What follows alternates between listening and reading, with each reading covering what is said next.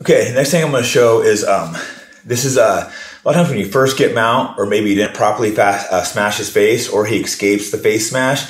Sometimes guys will kind of turn up on their side here, and you don't, you can't have his face down. Their arms are nice and tight, and they'll like try to push to get your lit to hook one foot and escape that way.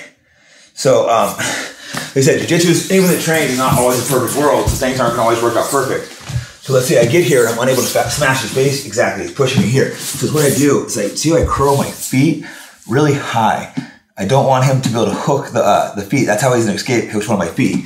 So I'm really high, and this is I was telling you always have your ass down. This is an exception because there's always exceptions to jiu-jitsu because I need to keep my hips hips high, and he can't. I'm also riding him kind of high, so he doesn't have. But I'm down low, he can straighten his arms. But see, my hips are high now, so he can't get a bunch of pushing force.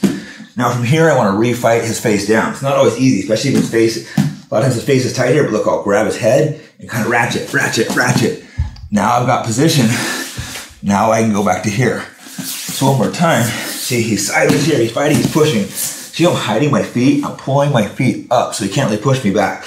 Now I catch his head and I'm aggressively turn, turn, turn. See how I've re-smashed my foot? He's probably pushed the arm. Isolate, and start looking from attacks from there.